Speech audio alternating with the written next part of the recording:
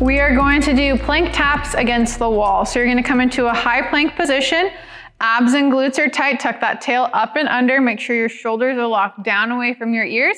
Then you're gonna alternate tapping your fingertips to the wall in front of you. As you tap, you wanna make sure that your hips are staying nice and neutral. We don't wanna see movement side to side when you do this, okay? Engage your core, lock down your serratus. You should be feeling stabilization here and do for the prescribed amount of reps. Let us know if you have questions.